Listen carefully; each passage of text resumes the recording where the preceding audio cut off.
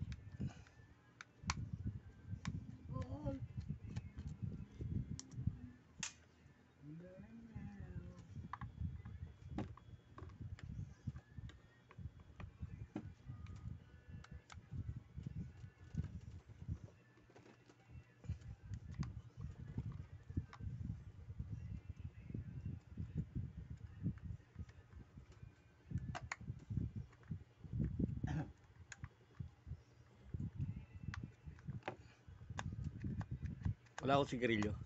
Andyan na. Ay, putang. Dito pala sa bulsa ko.